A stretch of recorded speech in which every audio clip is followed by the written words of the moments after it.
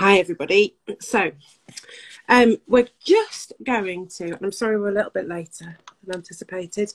Um, we're going to have a chat with um, Nicholas, who is Quilts from the Attic, and he's going to have a chat with us, tell us a little bit about some of the things that he's been doing. Um, and some of the things that he's been up to. I'm Helen from Sew Hot.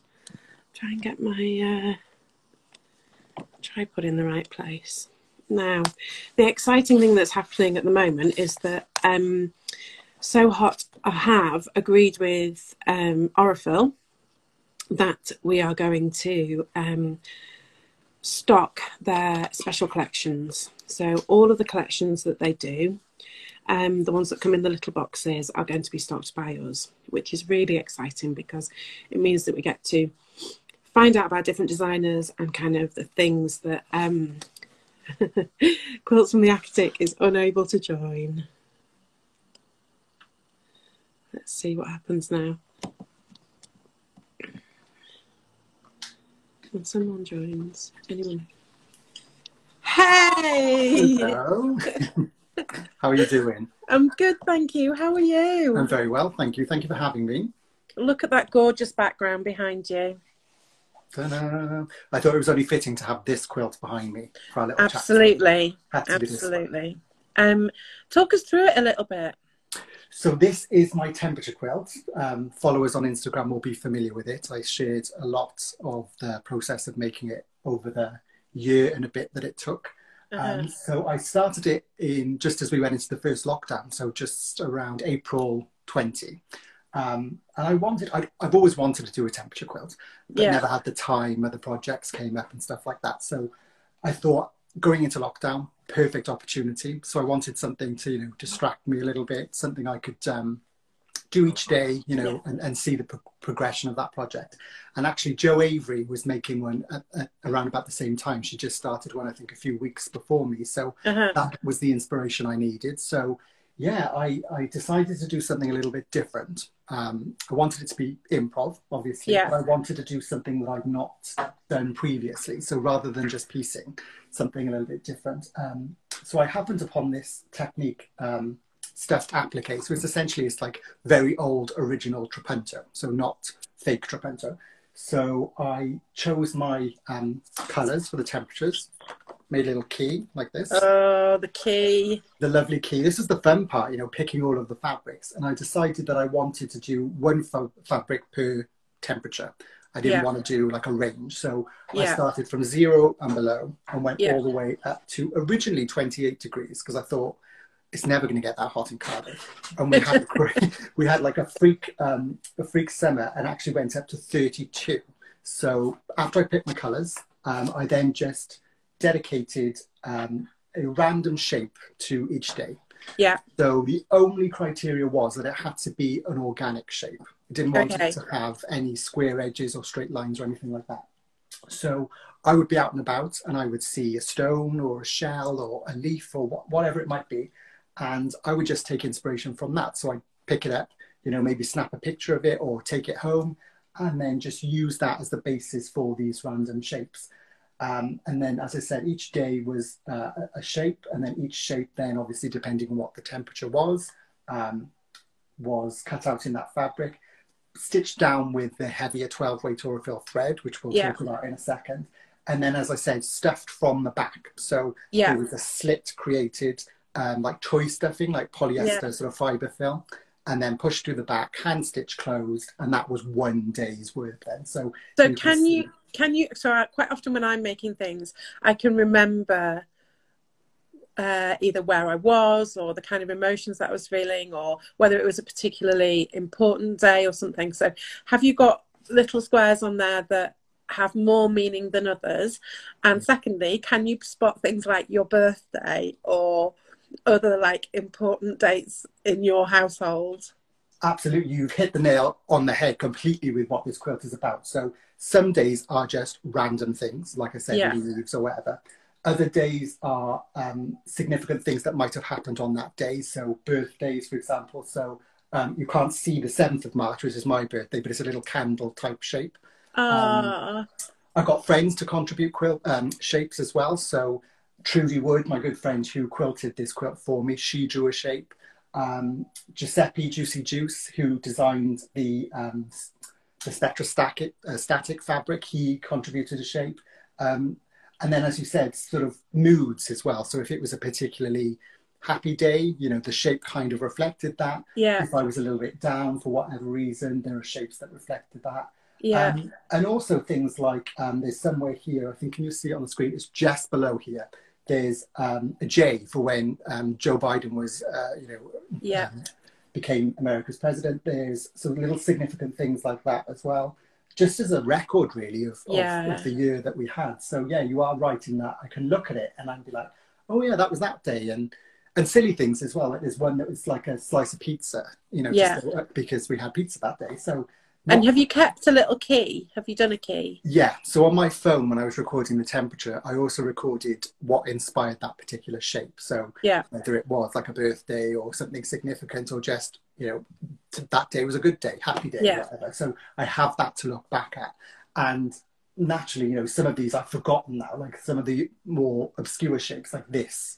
If someone said to me, what is that? I can't remember, but there are Yeah. ones that are obvious, like this one here. I don't think you can, oh, this one, let me pick one that you can actually see. So this one here was um, contributed by my friend Ben, and we used to play this game where we used to try and list all 50 states um, of the US and try and remember random things. So he drew a little shape that sort of looks like America. So there are lots of little stories in there as well um, to kind of jog your memory of what the year was like.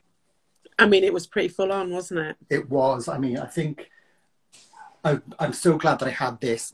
Sewing in general, I think, was, was really important back then, just Mm. to just to sort of distract yourself from what was going on. And, you know, people were at home a lot more. So having something to do just to sort of take your mind off things was really, really useful. And as I said, I wanted something that was both different, um, but something that was small and achievable in a day.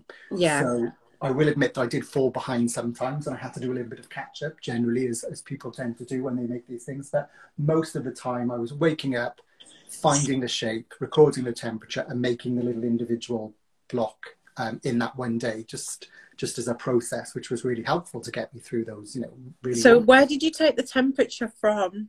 so the temperature was um, just from Cardiff, Yeah. um, where we lived at the time, and I just used um, my iPhone.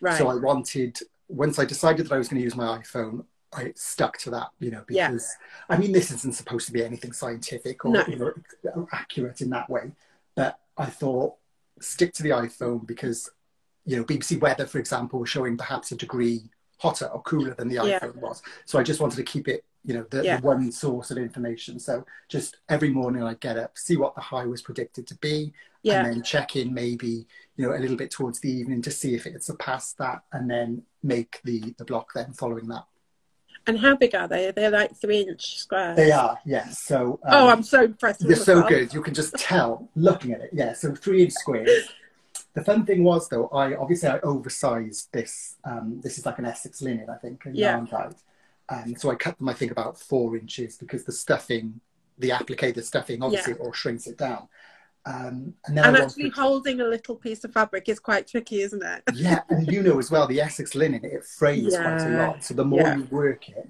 and you know these are stuffed as we know, so there's a lot of Yeah, sort of tension. wriggling. Yeah. Um, so once they were sewn up and ready to be tr- uh, trimmed to be sewn into these rows, I kind of devised this cool like I had a, a, pa- a spare patchwork square. I think it was five inches, six inches, something like that, and I actually cut the middle out of it Yeah. so that I could, you know, lay it over the stuffed applique because obviously you couldn't use a normal square Yeah. because it wouldn't be flat. So just cut out a little hole and then used it to trim them all down to the three and a half size. And then, as Oh. you guessed, they finish at three when they were sewing together. And where do you? um I'm getting distracted by news updates. Oh, there's more people resigning. Oh, it's kicking off, and it it's is all kicking off. They don't want to be at the party anymore. They don't. I was addicted to BBC News last night. I was like, "Well, come on, updates, updates, updates." Get some popcorn. This is going to be Yeah. good. So, where do you keep the quilt now? What do you do with it? So it's just actually come back to me. So it's been on a bit of a journey. So obviously this is the cover of the new book, Mm. Use, and, or Use and Ornament, which is coming in the next few months. Fingers crossed. Um, so it was in London for a while being photographed. Yeah. Then it came back to me, and then I decided to enter it into QuiltCon um, Yeah. this year.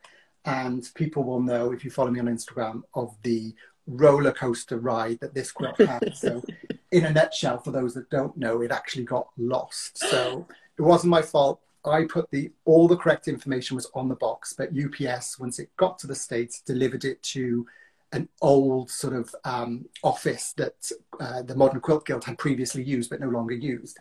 So Oh. it was sat in somebody's reception on this estate, like a kind of like a retail industrial type. Did estate. you not just want to get your car keys and get in the car? I was distraught. I mean, can you imagine? Like, I was so stressed because this was over a year's work. And, you know, Yeah. all hand stuff.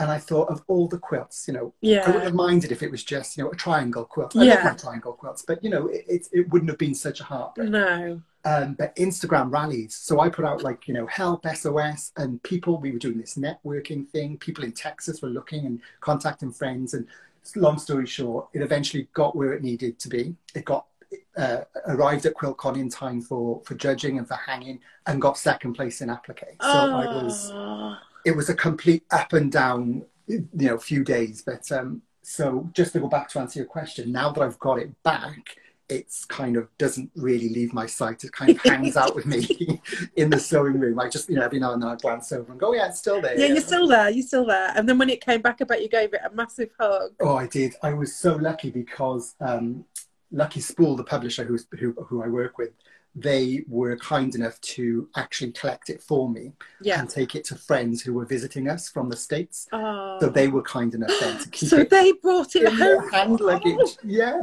And I was and checking in, you know, can you can you see the quilt have you got? Yes, it's in our hand luggage. Yes, it's very safe. I was like, hand luggage, yeah, not going into the hold. Hand Oh. luggage, yes.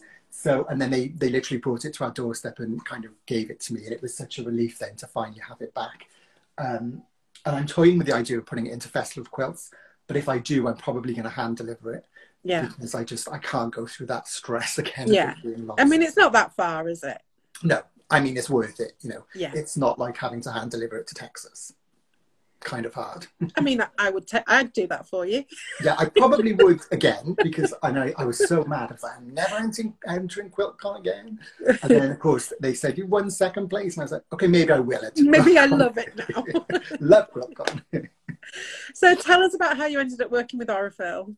Yes, so exciting. So I've always um, been a huge, huge fan of Aurifil. So I've been, this year is my 10 year anniversary of quilting, and I've been using Aurifil um, for about seven of those years. So Yeah. I first experienced it um, as a, a little free spool, a little small Yeah. spool in a goodie bag. I went to a retreat and they were like, try this thread. And at that time, I thought, you know, thread is thread. I just thought Mm. I'll just use whatever. And I had been using whatever up until that point. And I will admit that I was I was wrong. You know, a lot of people do just think, oh, thread is thread. But Mm. once you try good thread, it is very difficult to go back. So that's where my relationship with Aurifil started. And then um, over the years, I've, as I said, I've used their, their thread exclusively. Um, I became uh, an Aurifil um, artisan, first of Yeah. all, um, then an Aurifilosopher, uh, and then an Aurifil designer. So the kind of trio of things. Um, and my first book, I had a companion collection with that. And there were 12 quilt projects in that book. Um, I came prepared. Here it is, Inspiring Improv. So Yeah. the 12 quilt projects in this book inspired the 12 colours in my first Aurifil thread Yeah. set.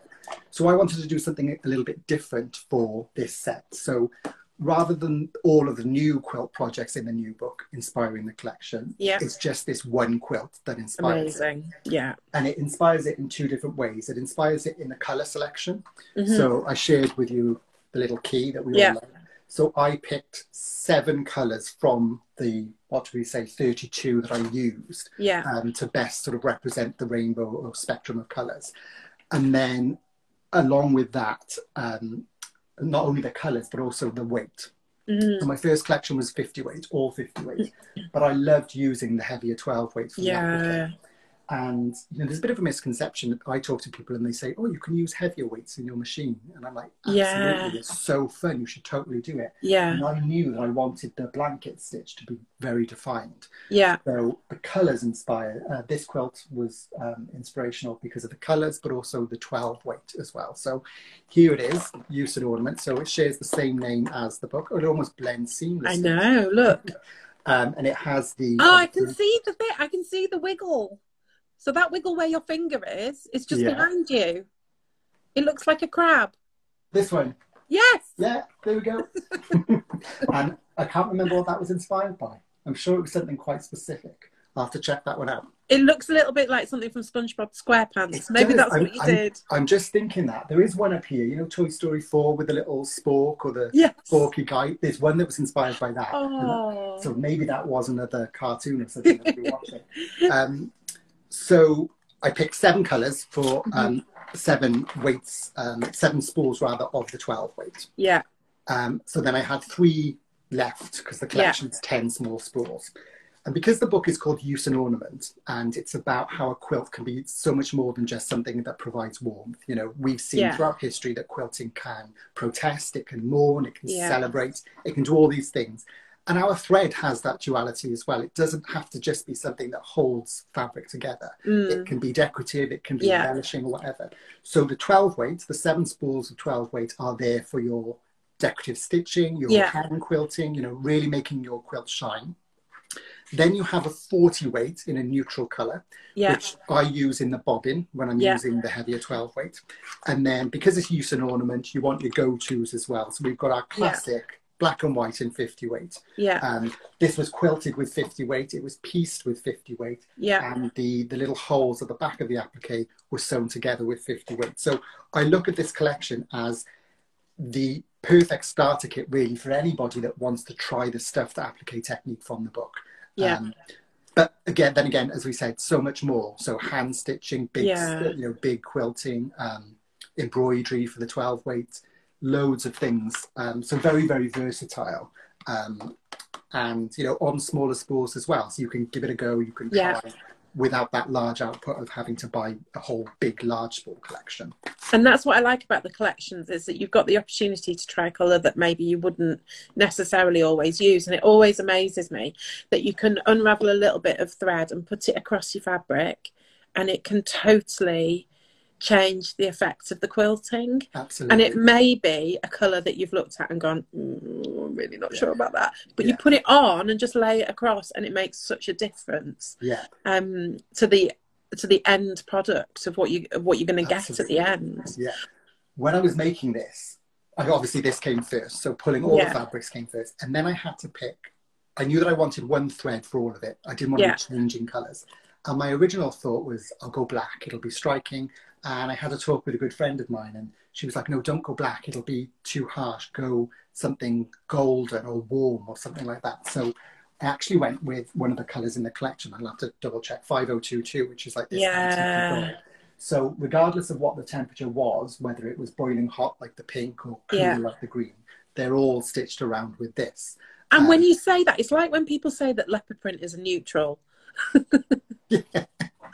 and nautical stripes are a neutral. Yeah. It's so true, isn't It it? is, That's yeah. that thread Yeah. will be absolutely fine as a neutral. And I wasn't sure at first, you know, I, I was thinking, "Mm, this isn't going to work. And obviously started all the way at the top there that you can't see and day by day. And because you don't know what the temperature is going to be, like I didn't get to use pinks until, what are we, July, June or July. Yeah. So, you know, it's all very well laying it on the fabric, but until you actually stitch around it, then you get a true sense of what it's gonna, what it looks like.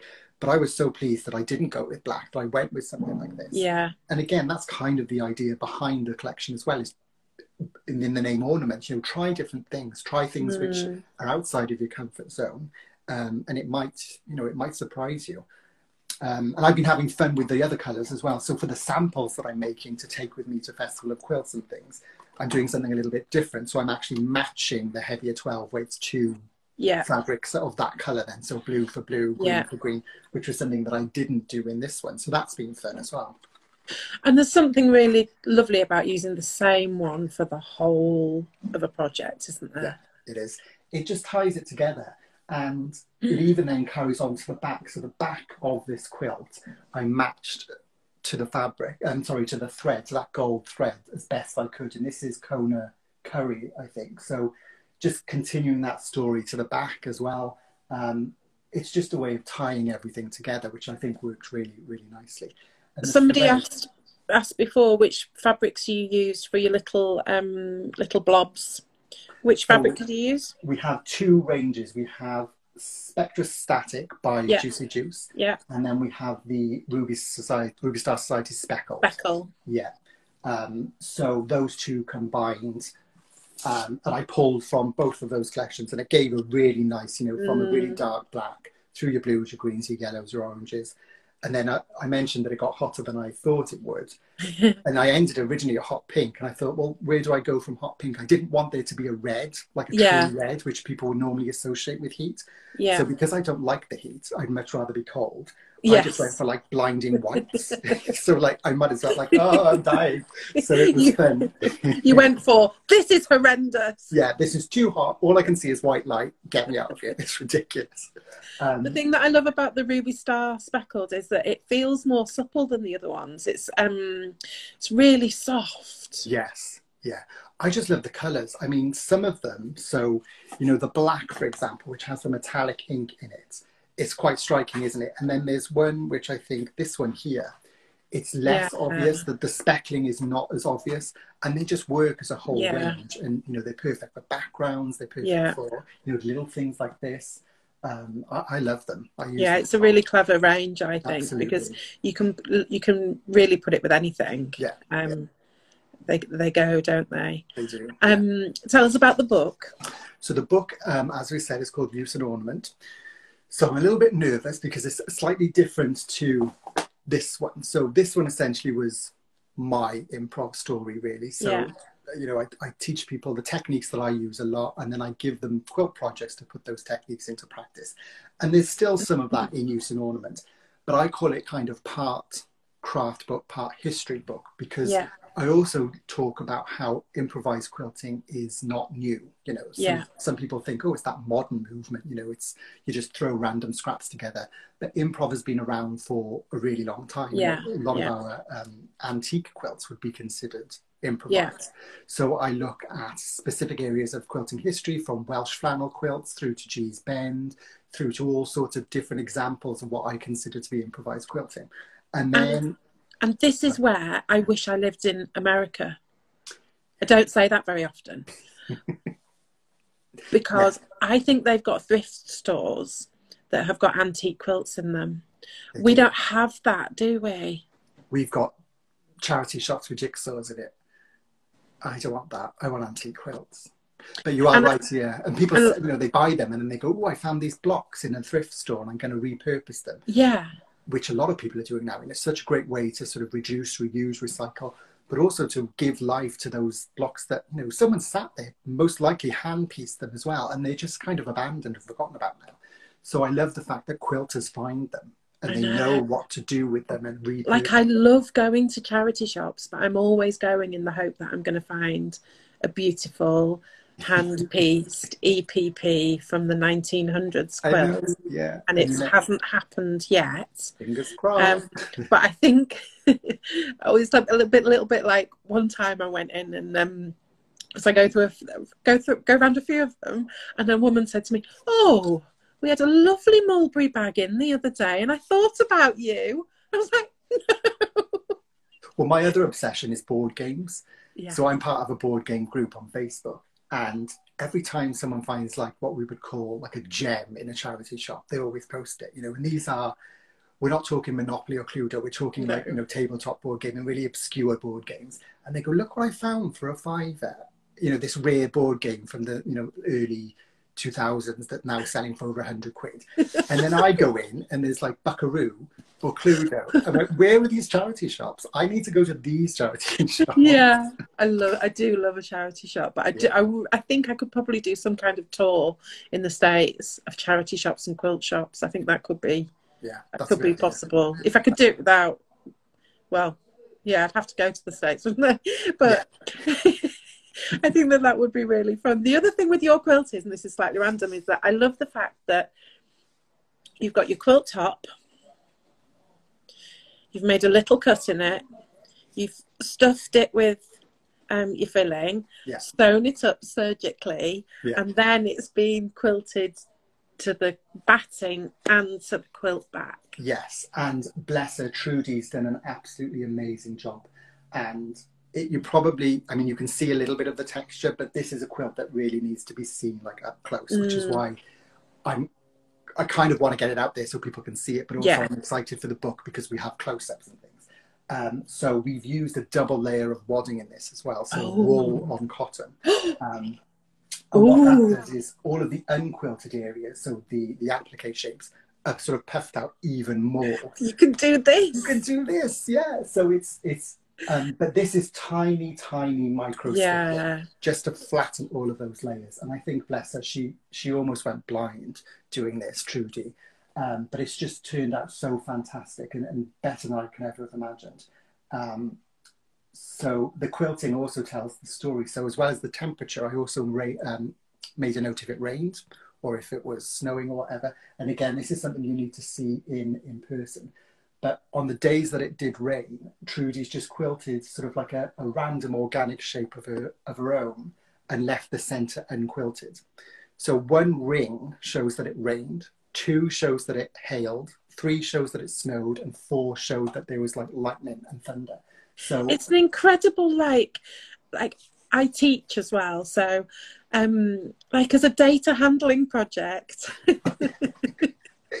for that would yeah. please me and yeah. would tick off a few boxes at work. Yeah. Um, they could do data handling on your quilt. Is there more photos of it in the book in the new book? Yes. So it's it's the cover. It's the, the stuffed applique technique is one of the the techniques that you learn. So it's not just the history book. You know, there are elements that you can take out of it. I talk about this technique, some new piecing techniques that I've tried, new um, quilt finishing techniques. So there are lots of things to learn. But yes, in the section that is devoted to this quilt in particular, there are lots of pictures that you can then see not only the applique but also the amazing quilting that Trudy's done. Um, and it's yeah, I mean you can extrapolate a lot of information. So you've got the weather, you've got the temperature, you've got you know um, days of significance as we talked about, whether I was yeah. happy, whether something good happened on that day. Um, just just yeah, a lot of data. You know, there are a lot of data. There's lots of data to be taken from this quilt it's a proper historical piece though isn't it? And it it's is, yeah. um i think the thing that came out of lockdown for me was thank god we had sewing. And i feel a little bit more attached to it now than i think i probably did before that. It's just that you, you had that year and it was a good thing to have and you you need it. It's so Absolutely. important. Yeah and we you know we talk about things like you don't know what you've got till it's gone. And yeah. for, for us to suddenly be told you can't go to the cinema, you can't mm. go to the mm. gym, you can't see. You know, that's that's quite a, a shock to the yeah. system when you're so used to doing those things. Yeah. So thank goodness that those of us that did so and do so, we were still yeah. able to do that. You know, that wasn't taken away from us because yeah, that would have been tough. That would have if Boris had taken away. Oh, there'd be uproar, absolute uproar. no sewing machine. Sew, but don't sew. Go to yeah. work, don't sew. Yeah, no. Can I use a hand needle? Um, only if you're in tier two. All right. Okay. I've no. forgotten about tears. I know. I've forgotten about tears. I've forgotten about, you know, like the toilet roll. Oh, that's a funny thing as well. One of these, uh, again, I can't remember which one. I'd have to double check. But I took a toilet roll and I just drew around the toilet roll and then I sort of squeezed it a little bit for the next day and just drew around it again. I think I did that like three times. And it's so funny to think back, like there was a toilet roll shortage. It was just ridiculous. just ridiculous. Craziness, crazy, yeah. crazy times. Madness. Nicholas, thank you so much. Thank you, Helene. It's been absolutely wonderful chatting to you. And, it's been really um, lovely. People know where to find me, don't they? So if they, yes. want, if they have questions about the thread set, they can you know, yeah. direct them to you or, or me. Um, but yeah, the people can reach out if they if they want to know any more information. There's a lot of information to say in a short segment, so you know, please reach out if you want to ask me anything. And Nicholas will get back to you. He's very good at getting back to people. Um, what's really lovely about the, the sets is that they are like a quick fix, a quick way to get a nice selection. I think in the past, sometimes they've just been one weight. So to have something that's got a bit of variety in it is just really lovely. Yeah. Um, and they come in the beautiful boxes. And hopefully we should be able, we should be getting all of them for Aurifil because they wanted somewhere to kind of point people to where they could definitely get them. So um, if you want one, have a look. They're on the website. But um, and also keep an eye out for your book coming out. When does it come out? Um, I want. It was originally supposed to be out by now, but we've had delays, and you know all the global shipping and, and the logistics and all of that have, have played their part. So we're, we're we are a little bit behind. So I'm, I want to be hopeful and say the next few months. It's definitely this year, and it's definitely Mhm. before Christmas. Right. Um, I'm hoping it's going to be before the autumn. Yeah. So fingers crossed for three, two or three months. But do you know what? The best thing about that is that you won't have to go and sign books anywhere when it's going to be hot. It'll be beautiful. It'll be September. It'll be just the right side of My too hot. perfect time of year, and you know, as I said, I don't like the heat, so I'm looking more towards these greens and not these pinks. when people ring you and say, "When would you like to go out?" For, mm, I'd like to go on one of these orangey days Yeah, or a green day. yeah, green day, please, green day. Not white, not white. No. No, no, not a white day. Thank you, Nicholas. Thank you so much. Thank Take you. care. Take care. Bye-bye. Bye. Bye.